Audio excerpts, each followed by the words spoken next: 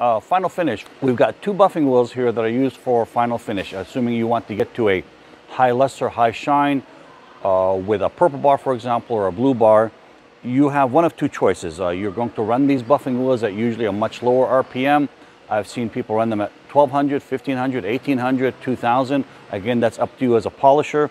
You've got two primary buffs for this. This is an untreated, what we call a UBM or untreated muslin buff. Essentially, it is the same cloth you will find in the yellow or the orange or the pink or the red, same cloth, except we do not add any treatment at all on this. And what this allows, and why most polishers like this, or some polishers like this, is because you can run this at a lower RPM and it will not build up the same amount of heat as you will on a flannel.